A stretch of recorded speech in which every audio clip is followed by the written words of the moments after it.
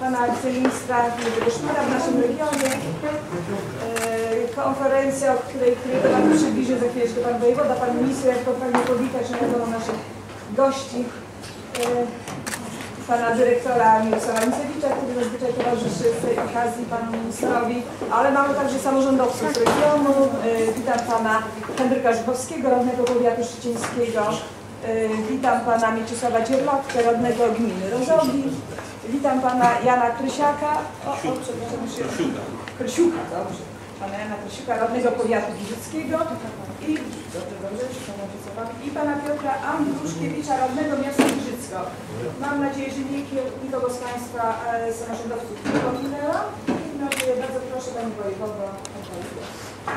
Dziękuję bardzo e, Panie Ministrze, Panie Dyrektorze, Szanowni Panowie e, samorządowcy. E, Dziękuję za przybycie. Mm, Celem naszego spotkania jest obecność czy y, podczas y, aktu podpisania e, programów inwestycyjnych na kolejnych inwestycjach w naszym regionie modernizacja, remonty dróg krajowych.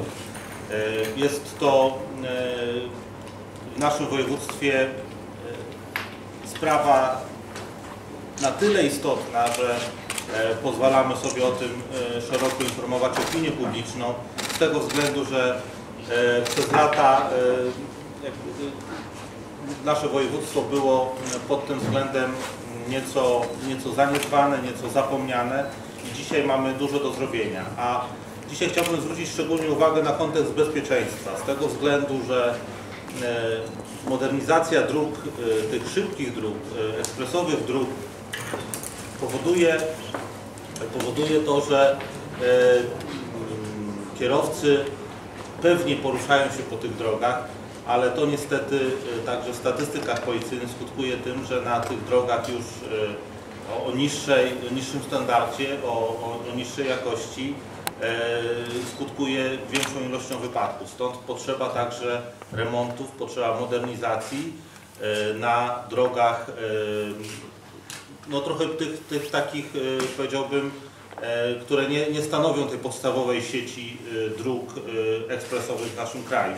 E, I stąd dzisiaj e, zarówno e, sprawa obwodnicy e, Ronda, przepraszam, Ronda w Giżycku, ale także e, dróg, odcinków dróg krajowych e, w powiecie szczycieńskim e, i w powiecie giżyckim. E, przepraszam, tylko Nóżewskim. Ale to pan dyrektor mnie uzupełni, jeśli coś tutaj pomyliłem. E, Ten kontekst bezpieczeństwa w mojej ocenie e, dzisiaj e, chciałbym podkreślić, bo, bo wydaje mi się on e, niezwykle, niezwykle istotny. E, Zatem dziękuję e, panu ministrowi za e, przybycie, za obecność, za to, to, to działanie na rzecz infrastruktury drogowej naszego regionu i oddaję głos panu ministrowi. Szanowni Państwo, bardzo serdecznie dziękuję za zaproszenie i że Państwo jesteście dzisiaj tutaj i- dajecie nam szansę, żeby informować społeczeństwo o tym, co, co się dzieje, co w budownictwie drogowym w tej chwili, e, co mm, powstaje, co będzie powstawało i jakie jeszcze decyzje będą, będą podejmowane. Państwa, dzisiaj e, z jednej strony jesteśmy, jest Pan Dyrektor, Pan Wojewoda, jestem ja, reprezentujemy władze rządowe, władze czy instytucje rządowe, państwowe, natomiast też i są z nami samorządowcy, są z nami osoby, które, e, które pracują na rzecz swoich społeczności lokalnych, na rzecz czy powiecie szczycieńskim, czy w powiecie giżyckim E, i też e, bardzo serdecznie dziękuję im za obecność. To mamy z dwóch powodów. Po pierwsze chcielibyśmy przedstawić to, co e, realizujemy dzisiaj na Warmii i na Mazurach, ale nie tylko, bo też powiem kilka słów o innych inwestycjach, tych dużych inwestycjach liczących e, się, których koszty idą w miliardy złotych, a realizowanych w innych częściach kraju, ale też chcemy opowiedzieć, pan, pan dyrektor Mirosław Kucelicz bardzo szczegółowo przedstawi to, co stan realizacji inwestycji drogowych w naszym województwie. Ale też jest okazja na to, aby podpisać, uruchomić kolejne inwestycje, to jak mówił Pan Wojewoda, te, które nie są liczone w setki milionów złotych czy w, czy w miliardy złotych, ale takie, które dla lokalnej społeczności, w tym wypadku dla, dla Giżycka, dla, dla Szczytna, dla Rozuk, e, odgrywają ogromne znaczenie. Przede wszystkim jeżeli chodzi o bezpieczeństwo. A więc, Szanowni Państwo, kilka słów może o tych naj, najbliższych, o tym sytuacji, jeżeli chodzi o budownictwo drogowe w całym kraju. W tej chwili w realizacji jest inwestycji drogowych na ponad 5 miliardów, na ponad 50 miliardów złotych. W przetargach w, jest już ponad 30, 30 miliardów złotych. W najbliższych dniach będą rozpisywane nas, na, na następne duże przetargi. To chciałbym powiedzieć, że na czwartek, na 27 kwietnia jest zapowiedziane e, podpisanie, uruchomienie przetargu na, na ostatnie dwa odcinki S61 Via Baltiki między Łomżą a Ostrowią Mazowiecką. E, Też e, być może też pracujemy nad tym, żeby udało się też uruchomić jeden z odcinków S6, ten w pobliżu, ten, który bezpośrednio w strój miasta będzie na północny zachód e, kierował się w kierunku starej trasy S6, czyli ten też to jest e, odcinek, którego wartość e, szacunkowa też jest około 2 miliardów złotych. Ale też jeszcze szykujemy w najbliższych dniach będą uruchamiane kolejne, kolejne wielkie przetargi. A zatem, Szanowni Państwo, to jest to, co dziś dzieje się, jeżeli chodzi o te wielkie budownictwo w całym, w całym kraju. Myślę, że tutaj to, co za oczy będzie mówił Pan Dyrektor Jarosław Nicewicz za chwilę. Ja chciałbym jeszcze podkreślić e, inwestycje, które w ostatnim okresie, w ostatnich dniach zostały zadecydowane, podpisane, jeżeli chodzi o wschodnią część naszego województwa. Bo na zachodnią, na centralną, tu są wszystkie oczy zwrócone, wielkie inwestycje, z 7 S, e, no, S51, właśnie DK51 między Olsztynem a Olsztynkiem. E, to są, to są gigant, no, 16, tu myślę, że też Pan Rektor powie, jest w stanie przygotować do, do tej inwestycji.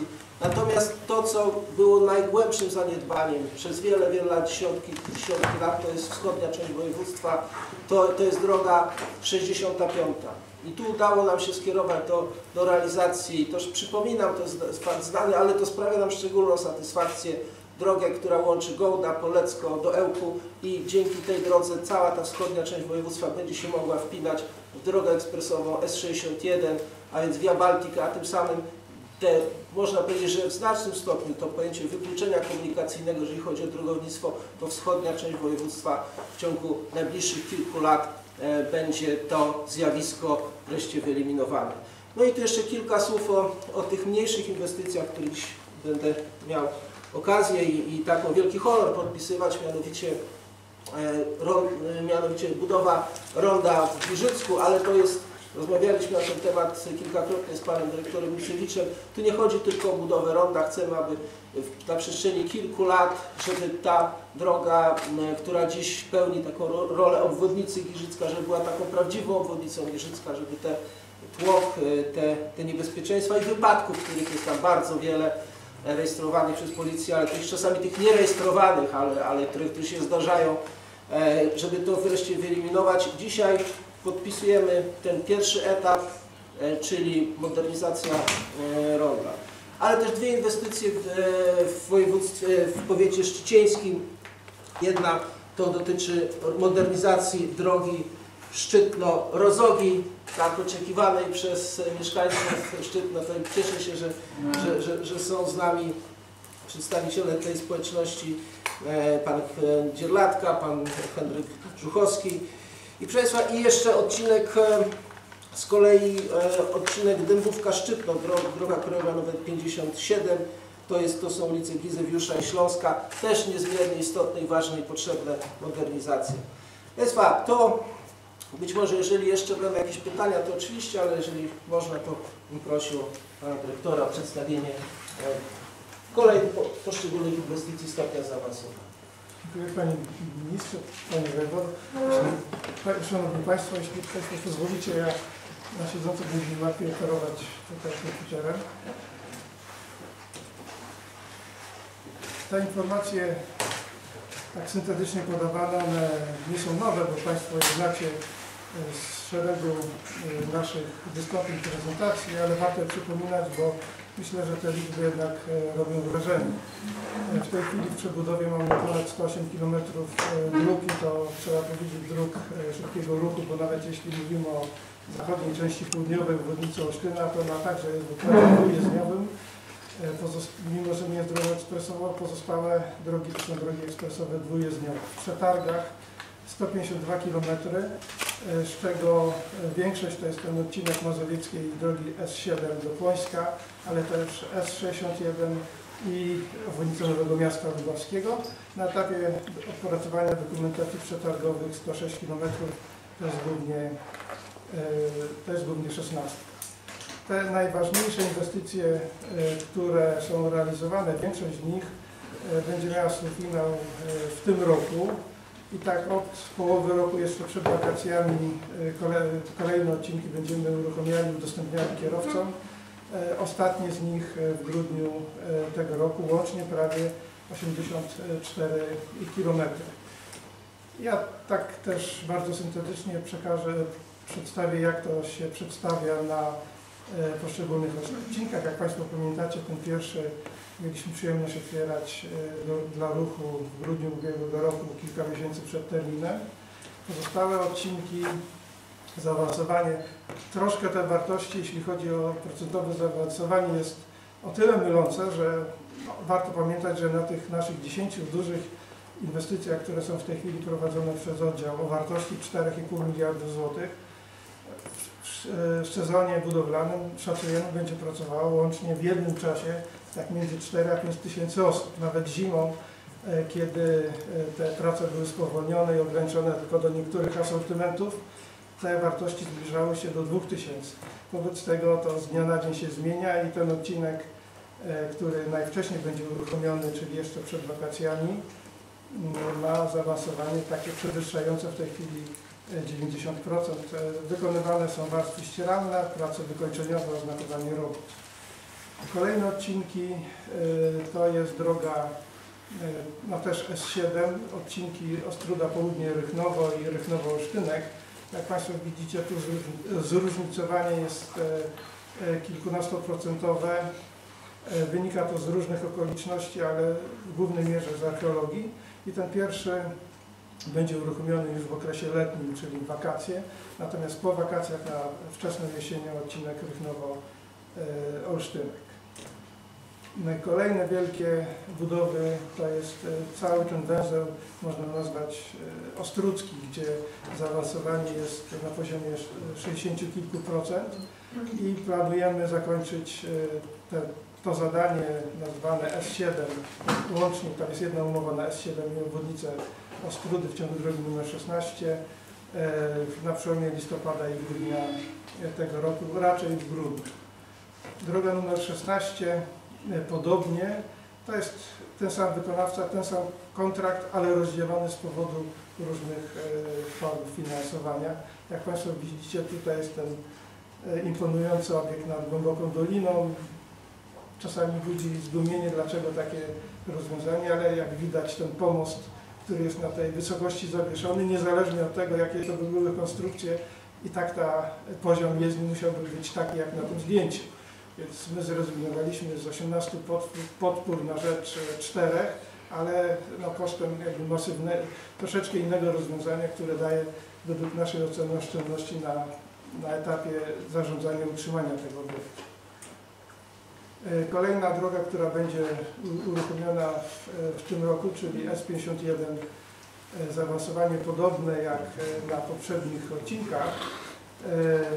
To jest o tyle ważne zadanie, że w sposób taki bezpośredni po wybudowaniu całej siódemki właśnie tego fragmentu S51 będzie stanowiło połączenie drogą ekspresową stolicy regionu ze stolicą państwa i siecią dróg ekspresowych i autostrad e, w Polsce i Europie.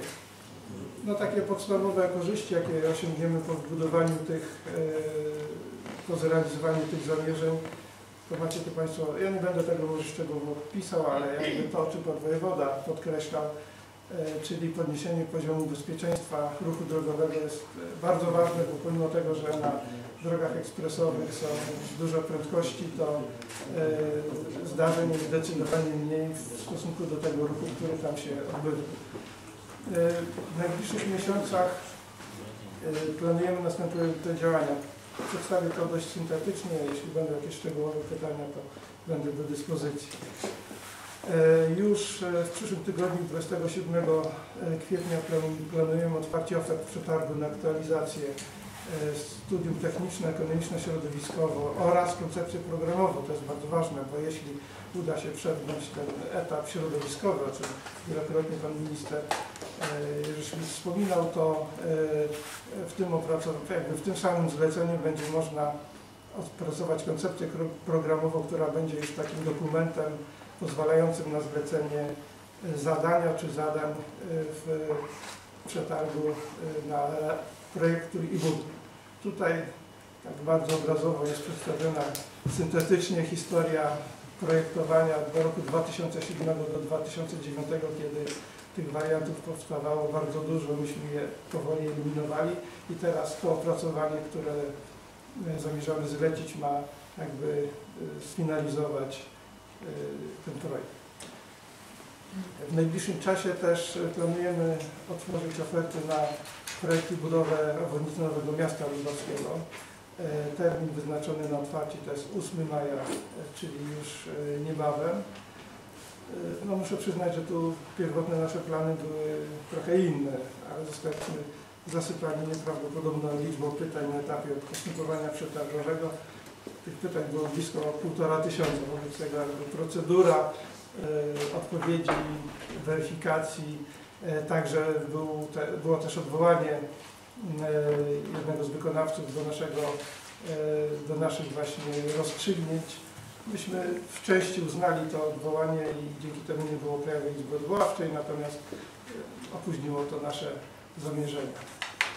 E, Kolejne wielkie zadanie, które oddział realizuje, to jest budowa drogi w przyszłości, budowa drogi ekspresowej S61, czyli mm, tej Via Baltiki. E, Tu procedura, czy plany są takie, że w maju zamierzamy zaprosić do składania ofert cenowych na te trzy wymienione na slajdzie zadania. E, W lutym tego roku odebraliśmy koncepcję programową, bo równolegle z procedurą przetargową toczyły się, e, były opracowane właśnie te e, projekty i w tej chwili po zweryfikowaniu, ocenie będziemy mogli wykonać kolejny krok, czyli zaprosić do, wykonawców do składania ofert cenowych. Taka dobra wiadomość to jest ta, że południowa obwodnica Ostrudy w ciągu drogi nr 16 będzie miała swoją kontynuację na zachód. No już y, nazywamy to S5, bo ta klasa drogi się, kategoria, y, nazwa drogi i klasa też y, się zmieniła i w bardzo szybkim tempie udało nam się uzyskać decyzję środowiskową na ten fragment i w tej chwili jest już, jesteśmy po otwarciu ofert i planujemy zakończenie tej procedury przetargowej w najbliższym czasie, tak żeby jeszcze na przełomie maja i czerwca podpisać y, to y, umowę na to opracowanie, które pozwoli nam y, dokończyć, bo to tak trzeba nazwać, obwodnicę Ostrudy w tej części. Oprócz tych zadań, które się kończą, no jak doskonale Państwo wiecie, w tej chwili kontynuowane są prace na południowej obwodnicy Olsztyna. Zaawansowanie tych prac jest różne, bo w różnym czasie były podpisywane umowy. I tu nawet e, na tym slajdzie, na tym zdjęciu jest obiekt zadania numer jeden i w większości te obiekty tak właśnie wyglądają. To jest bardzo dobry prognostyk, że mniej więcej za rok, dwa miesiące e, tą częścią obwodnicy Olsztyna będziemy mogli pojechać. Tą częścią zachodnią, e, wschodnią, południowej obwodnicy trochę później, bo później była podpisana umowa. Natomiast to, o czym Pan Minister też wspominał, bardzo wiele dzieje się, jeśli chodzi o te e, drobne w tej kategorii w porównaniu z dużymi zadaniami, choć zdajemy sobie sprawę, że to są zadania bardzo ważne dla mieszkańców, długo wyczekiwane i e, dla nich być może nawet najważniejsze. Właśnie w lutym rozpoczęła się już budowa skrzyżowania w Węgorzewie, przebudowa skrzyżowania na Rondo. Te prace już trwają, są zaawansowane. W najbliższym czasie zamierzamy rozpocząć e, pracę e, na budowie ciągu pieszo-rowerowego e, od tutaj tego skrzyżowania do cmentarza do Dywit i rondo w Rozowie. Natomiast te trzy zadania to są te, o których wspominał Pan, pan Minister.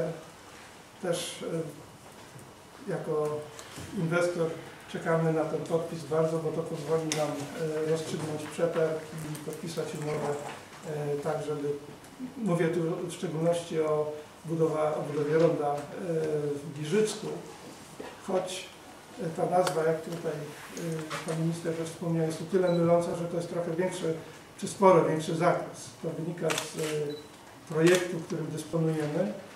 Jest to fragment tak naprawdę przyszłej obwodnicy Giżycka w ciągu drogi 59. E, Wobec tego e,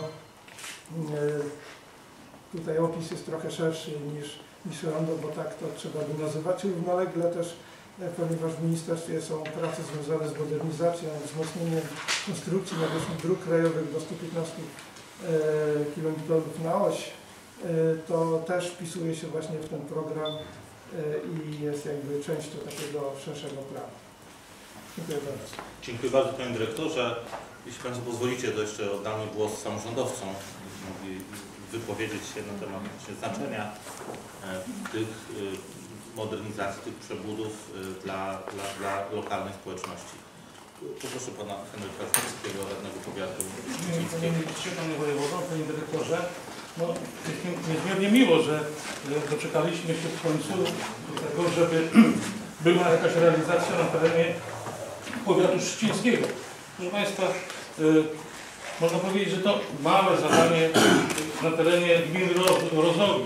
Proszę Państwa, ale te, te rondo jest bardzo ważne, szczególnie w okresie letnim, kiedy transport, sz- szczególnie e, samochodów osobowych, przepływa z Warszawy w kierunku Mikołajek. I tam są niesamowite korki, dużo dochodziło do, do zdarzeń, do, do kolizji. To całkowicie rozwiąże problem tutaj gminy Rozogi, a może po części wypowiadam się za y, kolegę e, prawda, Dzierlatkę, ale w związku z tym, że jestem radnym powiatowym, interesuje mnie cały powiat.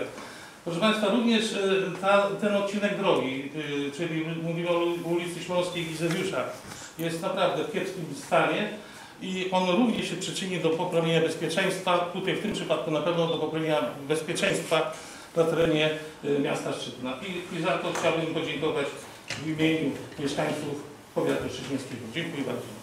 Dziękuję. Pan Mieczysław Dzierlatka. Panie Ministrze, Panie Wojewodo, Panie Dyrektorze, e, Szanowni Państwo, jeszcze w 2014 roku, gdy wybraliśmy wybory samorządowe, e, wójt mówił, że no jeszcze, że ron- ronda do Zorek będzie do, no przynajmniej do 2025 roku.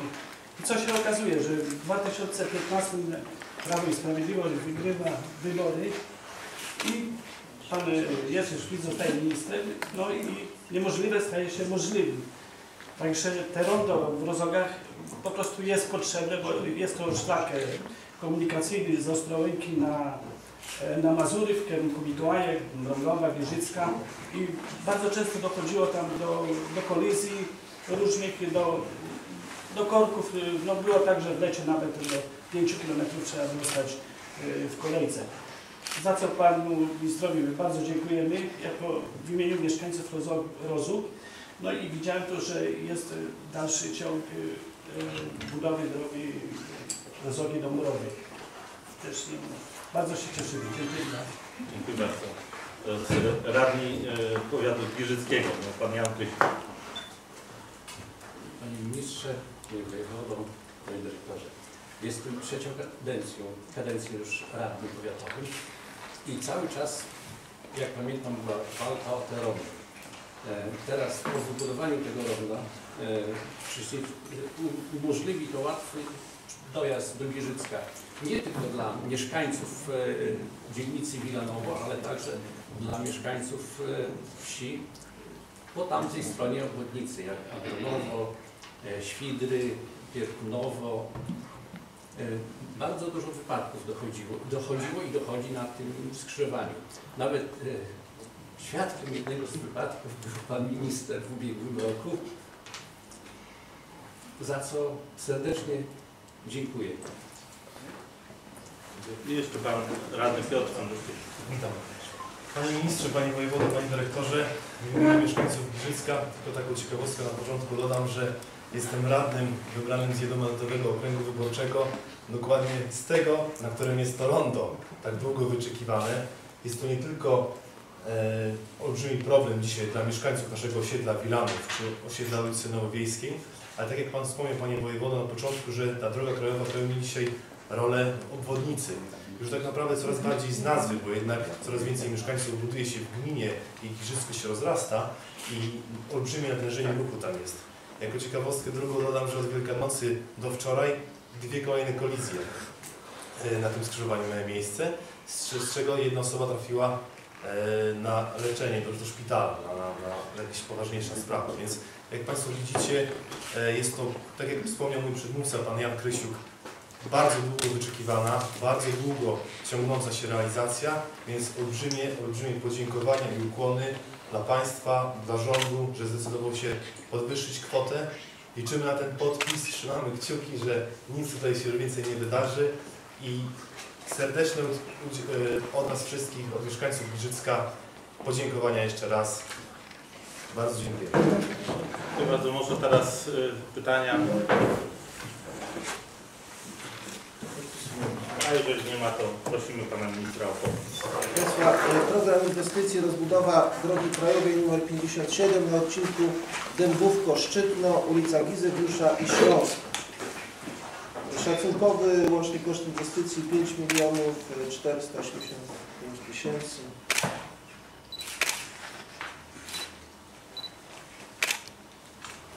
Nie ukrywam, że dopiero powinny być nasze podziękowania po podpisaniu. Troszeczkę się wyprzedzili temat. No na, na zasadzie zaufania.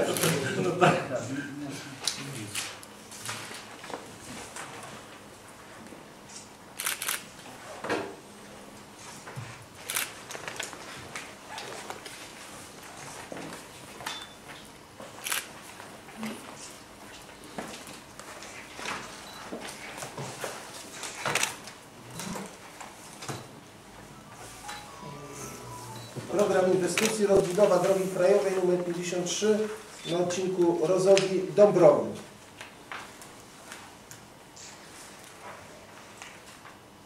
Jaki koszt, panie ministrze? Tu jest 31 milionów złotych. Łącznie te, e, te trzy inwestycje, to ich wartość będzie no, 50, 56 milionów złotych.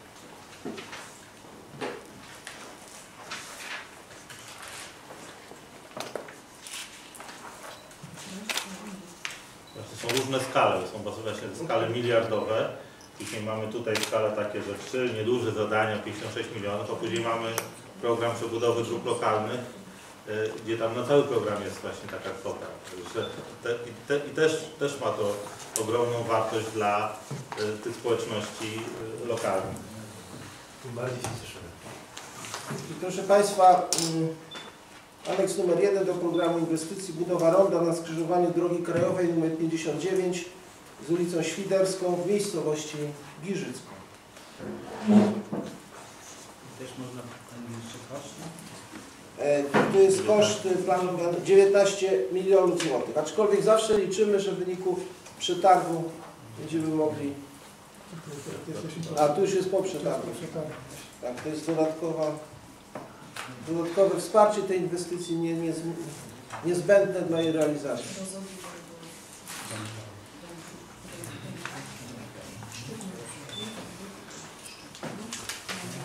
Czy ja mogę mieć pytanie y, tutaj odnośnie tego odcinka, panie dyrektorze, czy w związku z tym na odcinku ulicy Śląskiej mamy tam kostkę ruchomą? Czy ta kostka y, będzie zachowana jak do tej pory jako historyczny odcinek drogi, czy będzie pokryta w jakiś sposób? No nie wiem, to jest je- problem, bo ona naprawdę jest tak pofałdowana, że Je, jeśli kostka nie jest objęta ochroną konserwatorską, to prawdopodobnie będzie przykryta. Natomiast e, musimy to sprawdzić. Dobrze, w porządku. Zdjęcie zrobić. E, Proszę Państwa, myślę, że Pan Dyrektor jeszcze, ponieważ tu pokazywał mi może informacje o tych mniejszych inwestycjach większych, to bym prosił Panie Dyrektorze, e, jak te inwestycje z programu likwidacji miejsc niebezpiecznych są realizowane e, w naszym województwie. E, Mamy łącznie 37 tych zadań z programu likwidacji miejsc niebezpiecznych, plus kilka z e, remontu obiektów inżynierskich, co w sumie daje ponad e, 40 zadań. I w tej chwili e, z, tych, z tej puli 37, bo do tego będę się odnosił, zakończonych e, jest e, trzy realizacje. Ja będę może tu wymienił, bo jest ich mało. E, W Lidzbarku Warmińskim chodnik e, w Miłogórzu i chodnik Wyszowatych. Jest pięć zadań w realizacji. E, To jest chodnik Kisielice Ogrodzeniec, właśnie Rozogi, bo to już umowa jest podpisana, więc traktujemy to, mimo że nie ma jeszcze tej pierwszej łopaty. Węgorzewo Rondo, o czym wspominałem, most w Sedrankach w zasadzie na ukończeniu i Dywity Kieźniny, które są tuż przed rozpoczęciem roku. Cztery zadania są mm, w, w postępowaniu przetargowym, w tym rondo na Giżycko i tu czekaliśmy na ten aneks, żeby można było podpisać umowę. Dziewięć zadań jest e, w przygotowaniu do przetargu na roboty. E, Cztery zadania w fazie przygotowania dokumentacji technicznej i 12 zadań w przygotowaniu do przetargu na dokumentację techniczną. Co łącznie daje właśnie to prawie 40 realizacji. Program jest e, na lata 2017-2019.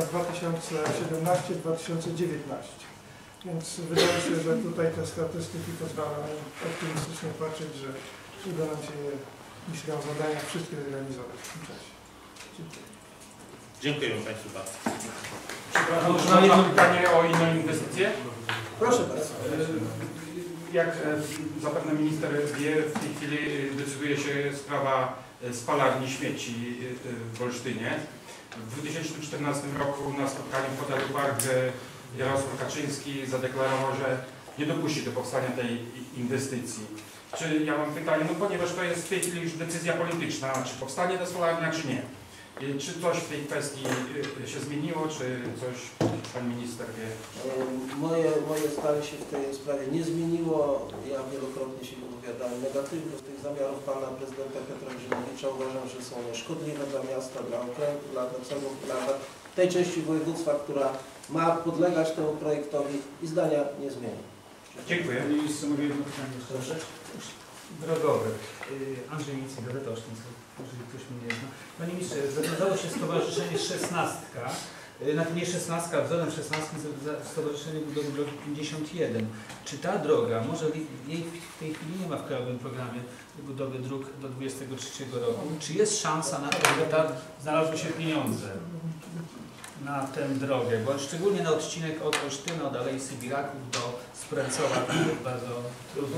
Panie redaktorze, ja się cieszę z każdej takiej inicjatywy, która, e, która powoduje, że budowa jakiejś drogi, konkretnej drogi, czy w ogóle infrastruktury drogowej, komunikacyjnej gdzieś funkcjonuje w przestrzeni publicznej, że ludzie o tym mówią, że to jest potrzebne, bo to, bo to nam, dla Minis- Ministerstwu Infrastruktury i Budownictwa po prostu pomaga przekonywać tych, którzy decydują o pieniądzach, tych, którzy decydują o, o możliwościach, naszych możliwościach finansowych, e, że to, że to są głębokie potrzeby. E, I też tak traktuję podobnie tą inicjatywę, z ogromną sympatią i cieszę się, że, że takie działania są. Natomiast też e, chciałem powiedzieć, że to też nawet tu na, też na tej prezentacji widzimy, że droga 51 na północ od Olsztyna e, też jest modernizowana, też jest naprawiana, też tutaj e, chociażby dyskusja, mam nadzieję, że też zakończy się pozytywnie, jeżeli chodzi o budowę e, ronda w Dywitach e, przy osiedlu sterowców, bo też tam są rozmowy. Generalna dyrekcja z, z wójtem i z inwestorem toczą rozmowy. Mam nadzieję, że one się zakończą e, pozytywnie. E, Też są e, Pan dyrektor mówił też o Litwarku Babińskim, też chciałem przypomnieć o inwestycjach w Dobrym Mieście. Też o tym informowaliśmy, że też decyzja zapadła o modernizacji ulic, które przelotowych przez Dobre Miasto. A więc to nie jest, znaczy to jest, y, to są działania, które konkretne są już dzisiaj wykonywane i też są inne zadania w ramach programu likwidacji miejsc niebezpiecznych, które na drodze 51 będą wykonywane. Natomiast też chciałbym mówić tak y, szczerze i, i, i bez i po prostu otwarcie, że dzisiaj w tym programie, który jesteśmy w, mode, w tym y, ostatecznie y, nowelizowanym programie, nie ma szansy na to, żeby cała droga 51 znalazła się tam w finansowaniu. Nie ma takiej możliwości, mówię to otwarcie, bo to y, nie mogę tutaj Państwa sprowadzać w błąd. Natomiast cząstkowo te, te, w tych najtrudniejszych, kluczowych, węzłowych punktach będzie droga modernizowana. Natomiast jestem przekonany, że po, gdy, gdy zostanie oddana do użytku droga S7 na swojej długości przynajmniej do Elbląga, to w znacznej części, w znacznej części ona odbierze ruch tych wielkich tir- tirów ciężarówek, które obsługują które